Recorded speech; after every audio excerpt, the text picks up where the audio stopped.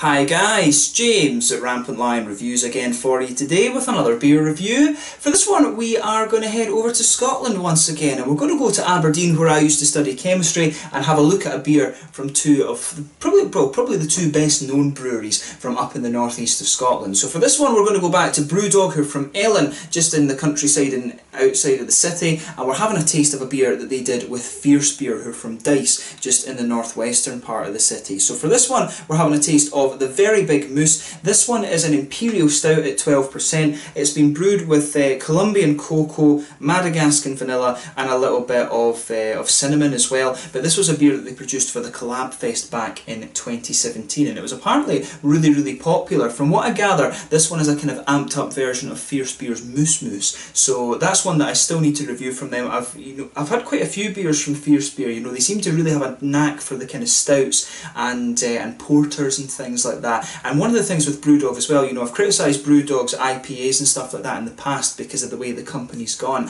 but their stouts and, and uh, porters and things like that at Brewdog have always remained pretty good regardless of what's going on behind the scenes. So I'm really interested to try this one and uh, see how we get on with it. I'm sure it'll be a really quite interesting beer. Very highly rated on Rate Beer. I think it was into well into the 90s when I checked it out and it was well into the 4 stars on Untappd as well. So really looking forward to this one and as always say I hope you guys enjoy my take on this beer. So anyway, as is usual with my reviews then, I'll tell you a little bit about the breweries. If you want to get straight to the tasting, just fast forward. All the usual links are in the description below. That's the brewery website, it's to my other reviews that I've done, both from Brewdog and from Fierce Beer. You will see more in the near future. I've got some Fierce Beer ones in the back catalogue that you'll see uh, at some point fairly soon as well. There's all the usual social media. If you want to see more beer reviews, do please consider subscribing to the channel. The whole channel, of course, has a geography-based tagging system, so you can go into the homepage and search for beer based on country, city, state, county, prefecture, whatever it is you're interested in. Do check out the playlist of beers from different countries. There is one there for all the Scottish beers that I've reviewed for you. That's constantly being added to. And as always, please uh, do get in touch and let me know some of the other beers and breweries that you guys would like to see me review. It's always great to hear from you guys that are watching the videos and the support that you show the channel is hugely appreciated. So anyway, to tell you a little bit about Brewdog then. So as I've told you before, Brewdog was the love child of James Watt and Martin Dickie and they were founded back in 2007 and their first brewery was a very small one in the Kessock Industrial Estate in Fraserburgh in the very northeast part of Scotland, right at the tip of the monster's nose as I always like to say, but more recently they moved their main brewing operations to a new, very shiny and purpose-built facility in Ellon in Aberdeenshire, which like I said is just a little bit to the north of the city of Aberdeen where I used to study chemistry. But these guys were largely inspired by the American craft brewing renaissance. They often cite stone brewing as, uh, as one of their main influences and it used to be that if you tried uh, punk IPA you could compare that to the Stone IPA and you really actually could see um, where that influence was coming from. But these days they've got several pubs throughout um, all over the place now actually. The first of those opened back in 2010 with their one uh, uh, Aberdeen just next to Marischal College. They've now got a second bar at the Castlegate in Aberdeen as well but they spread into down to Edinburgh and Glasgow uh, the following year and then they've spread all across England since then. They've got bars as far away as Tokyo, they've got their second brewery now over in um, in Columbus in Ohio and they've got a bar down in Brazil as well. I think the one in Sao Paulo and the one in Tokyo, those are the ones that are furthest away as well but they're always opening up new things over there. Um, they're, as I say, they've got a second brewery in Columbus, Ohio. They've also started distilling spirits as well which are released under the name Lone Wolf. They've done some gin so far and I think they're still waiting for the whiskey um, to do its three years in the casks and they've also just finished building their overworks which is producing sour beers for them as well. And I think the first beers are starting to uh, you know roll off the production line at the moment. The Brewdog Overworks is actually um, going to attend the Brewskival which I'll be going to in a couple of weeks time. Or uh, you may see this video actually at the time that we're at Brewskival, who knows? But the Overworks are producing sour beers and I've yet to actually try anything from the Overworks so I'm very interested to see how that turns out. But Brewdog you know they're probably the ones that put um, the Scottish craft beer on the map and there's a lot of little breweries that have come after them that have kind of been inspired by them and as I've told you before I have criticised what's going on uh, from a business perspective when it comes to Brewdog but you know they're still producing some pretty damn good stouts and porters and things like that. The, the quality of the IPAs I think has dropped a little bit um, but as I say we'll see how we get on with this one. We're not here to talk too much about the business side of things, we're here mainly to talk about the beer but if you want to learn a little bit more about Brewdog check out their website and you can also have a look at their Facebook as well. So pardon me, Anyway, on to the other side of the brewery then, on to Fierce Beer. So as I mentioned to you earlier, Fierce Beer are based in Dyson, Aberdeen, and they began life as the homebrewing experiments of David Grant, who'd worked in the oil industry for many, many years. And he'd been homebrewing since uh, March 2013, and after hosting a kind of beer and food pairing uh, dinner, if you like, at his house, he, his beers got really, really good feedback, so he decided to bite the bullet and turn professional. So this was back in May 2015, and um, actually he's joined at the brewery now as well by Dave McGarry, who also worked in the oil industry for a number of years years, but he used his redundancy package to put himself on a brewing course at Brew Lab in Sunderland. So in April 2016, they moved into their brewery in the Kirkhill Industrial Estate in Dyce, which is to the northwest of Aberdeen, very close to Aberdeen Airport, of course, and at the moment they can brew up to 800,000 litres of beer per year. They started canning their beers in early 2018 as well, and they've now got their own bar on Ship Row in Aberdeen, which is called the Fierce Bar. It's just kind of round the corner actually from uh, Brewdog's Castlegate Bar, and it's really nice actually. The guys that work in there are really really nice. It's you know your typical kind of uh, craft beer pub in there, but they've got lots of different things from Fierce that I think a lot of them are actually um, keg only and things if you like, because they do like to experiment a lot. They're experiment a lot with kind of fruit sours and things like that at the moment. Most of the beers when I were in when I was in there were uh, like berry sours and fruit sours, Berliner Weisses and stuff like that. But like I say, these guys have got a bit of a knack for. Um, for brewing porters and stouts and things like that. I think that's where Fierce Beer really shine, but they are starting to play around with the sour beers as well. But at the moment they're looking for a new site in the city because they want to move uh, into the city centre and have a big brewery and restaurant type premises. And there's a few old industrial buildings in the centre of town that might actually do them for that, so it'll be interesting to see how they do going forward. But personally I would say that uh, Fierce Beer are kind of doing quite a good job of filling the gap that Brewdog have kind of left in Aberdeen when it comes to craft beer. There's also Six Degrees North from um, from Stonehaven as well, but they specialise primarily in the production of, uh, of Belgian beers. They do some really good stuff as well. So Aberdeen really is a bit of a craft beer hub when it comes to uh, the northeast of Scotland. There's really good breweries out in Speyside and over towards Inverness and things like that as well. But yeah, that's all you really need to know about Fierce Beer for the moment. Again, check out their website in the description below and you can follow them on Facebook and stuff like that. But they are quite a prolific brewery. Like I was saying though, most of their, their experimental beers, if you like, can be found in the Fierce um, the Fierce bar. But yeah, let's get on to the actual tasting of this one then. So I'll just let you have a little look at the artwork on this one before we open up. There you can see nicely presented this. This is the the kind of modern style that brewdog have when it comes to their collaboration beers. It says on the side here very big moose. As imperial stouts go this is one of the this is one of Saris proportions. Rich thick and uh, Ermin Smooth. This Collab Fest winner is Bottled Decadence for the People. A mix of dark malts gives a well-rounded body that is decidedly chocolatey with notes of vanilla, cinnamon, cocoa and chocolate on the nose. A sweet and chewy taste with roasted malts, chocolate and vanilla. Very big moose. Imperialism comes of age. It tells you a little bit about Fierce Beer and also a little bit about Brewdog as well. You can have a little look at that there. It's also got all the export and import things for China and for... Oh wait, that's the Japanese ones there. Should have seen that, should have recognised the, can the um, kana there, but there you can see it, there's the Brewdog bottle cap on this one, nicely presented. As I say, 12% Imperial Stout brewed with Colombian cocoa, Madagascan vanilla and a little bit of cinnamon. So without further ado, let's get this guy out and we'll get on with the tasting then. I'm really looking forward to this. So yeah, nice smoky opening there and we'll get it out into the glass. So you can smell the vanilla and the chocolate off this one as you open it up. Look at that. That looks lovely. So nice big dark ebony rosewood kind of colour beer this one. One or two big bubbles sticking towards the side of the glass but you can see quite a few little ones just heading up towards the bottom of that head there. There's a solid finger of a frothy, I would say quite dark um, tan head on that one. You can see the colour of that head there, just look at that. But yeah, really nice looking beer. There's actually a good hint of fruit coming off this one as well, which is quite interesting. I've just got a big waft of a kind of red, um, almost quite tart, fruity note out of this beer. But you know, it looks pretty much as you would expect from an Imperial Stout. It looks like a lovely, lovely beer, and you can see on the pour and you can see when you sort of swirl it around you can see how oily that beer is. There's a lot of booze in this one, you know, 12% it is a bit of a beast. So let's take a closer look at the aroma then and just see how we get on with this one. Just as I'm moving the beer around, there's a lot of brown sugar and chocolate coming off of this one, but let's see how we get on.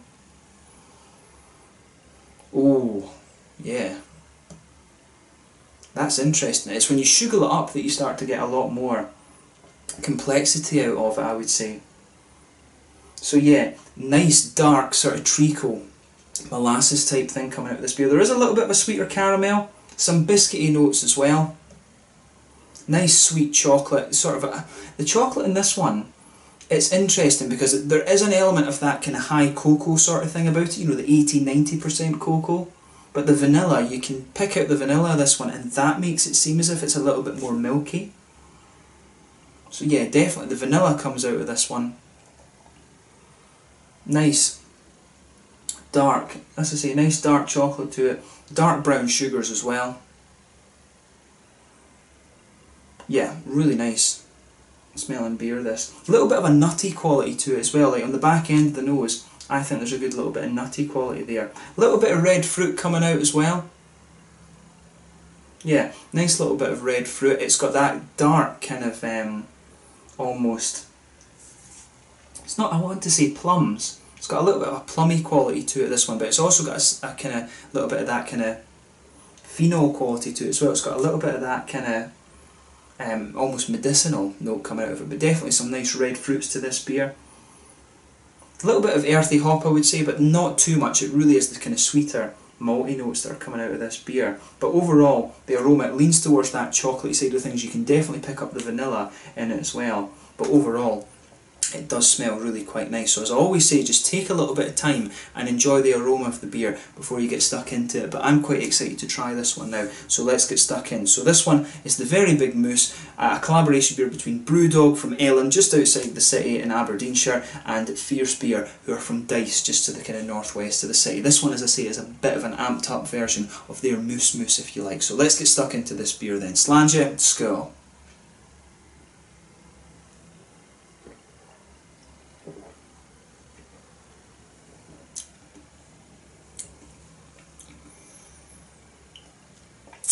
Yeah.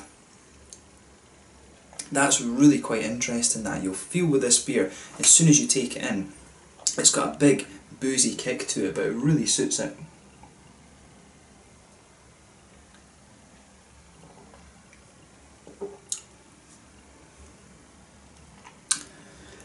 Yeah, that is a bit of a monster. I have to say it's really interesting how everything kind of goes together in this beer. So let's just try and break it down a little bit. As I always say though, with these big dark beers, take a little bit of time and sugar the beer around your palate and just let your whole mouth adjust to it before you start um, before you, you start analysing it too much.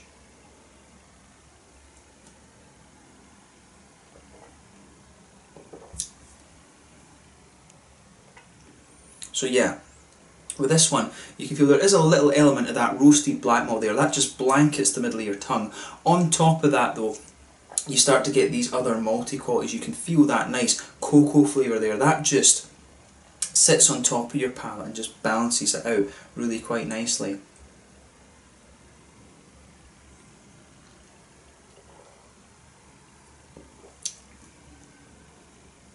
Yeah, you can feel that. It's got that lovely big it's, it's almost like an oily chocolate there. You can feel that just blanketing, you know, just sitting on top of that roasted black malt. Right in the middle of your palate, there's a nice little bit of a kind of treacle molasses, dark brown sugar sort of thing sitting there. As you go further out towards the sides of your tongue, I think it just lightens up a little bit and becomes a little bit more sort of caramelly. And um, maybe there's even a little touch of biscuit just as you get out towards the very edges of your tongue. If you come further forward, I think there's a little bit of a kind of nutty note in there. And as you go further and further into the aftertaste of this one, the cinnamon kind of starts to come out as well. The vanilla for me isn't so obvious in this beer.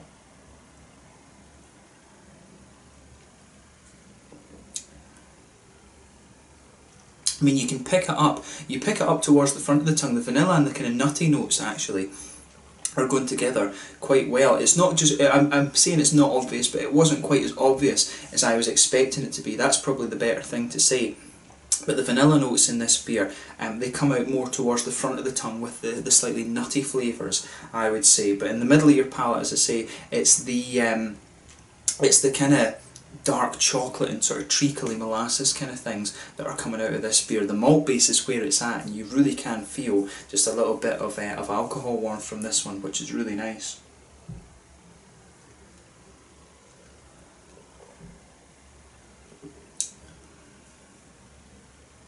But yeah, that's a really nice, a nice tasting beer. This one. There's a lot going on in this. It's actually, I mean, it's not the, the most complex of imperial stouts that you're going to get, but it's more about how all these ingredients kind of mix together well. I mean, the cinnamon's in there, the kind of chocolatey elements are coming out really well. And the vanilla just infuses in really nicely. You've got a little bit of the nutty and brown sugary elements to it in there as well, which works for it. But it's, it's a really nice beer, this one, you know both breweries in this have done a good job. Like I say, Fierce Beer have a knack for doing the likes of stouts and porters and things, and Brewdog, their the quality of their stouts and uh, and things has has always been pretty good. I mean, if you go to the Paradox series, um, you know the the Riptide was one of my favourite sweet stouts back in the day. I was quite disappointed when they got rid of that out of their core range. I always loved the Riptide beer from Brewdog, and that's you know they've been very consistent in their porters and stouts, I would say, over the last couple of years. But it's it's it's definitely a good beer. This one.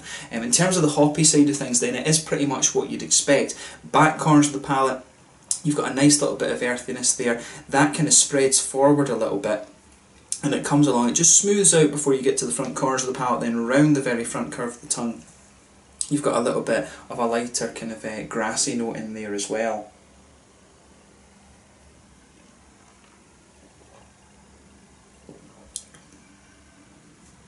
Yeah, and then as you just go behind the front curve of the palate, that's where you get that little oily bubble where those nice juicy fruity esters start to come out of the beer. So for me, this one's given a little bit of a kind of it's interesting. It's got a little bit of that kind of plummy red fruit, but at the same time, it's got this kind of um, almost medicinal quality. And um, there was a brewer was telling me that's the phenols that kind of give that out. So I need to do a wee bit of research into the chemistry of how all of that works because you know I'm a, I was a chemist by trade and then turned into an astrophysicist, spectroscopist type thing. But the the way that the I was told that these kind of medicinal flavors that you get from like Belgian Bruins and uh, sometimes in the quadrupels and things like that as well, and the, the Dubbels you get it's this kind of phenolic quality and you get a little touch of that from this one with the way the red fruits are coming out.